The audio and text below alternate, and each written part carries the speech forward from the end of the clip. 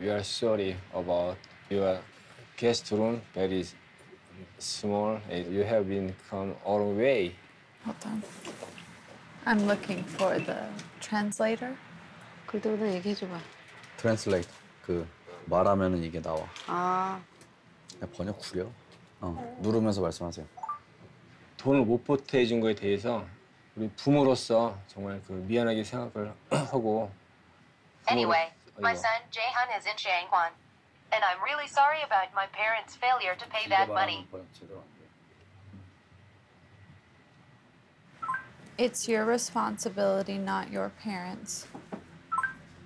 부모님이 아닌 당신의 책임입니다. 지금 내 잘못을 인정하고 너가 한국에 있는 동안 돈 걱정 안 하게끔 내가 다시 열심히 해서 우리 가족들을 책임질게.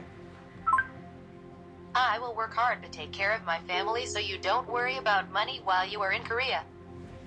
You said the exact same thing four months ago. 몇 달 전에 똑같은 말을 했어요.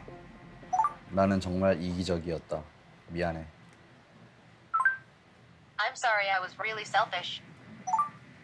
Why is your money going into your mom's bank account? 왜 돈이 엄마의 은행 계좌로 들어가요? 엄마한테 돈 맡긴 돈은 그게 무슨 돈이야?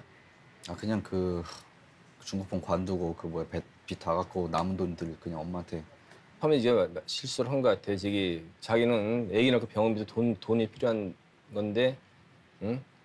그렇지. 그건 미 미안하다고 사과를 진짜 하고 내가 또 실수를 할까 봐 내가 그 돈을 또 낭비를 할까봐 I'll make another mistake. I'll waste that money again. Oh, translator getting worst situation